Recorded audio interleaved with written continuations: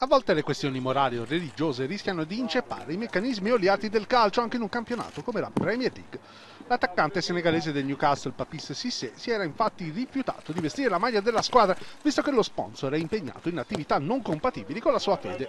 Lo sponsor, Wonga, è una ditta che offre prestiti personali proibiti dalla religione musulmana.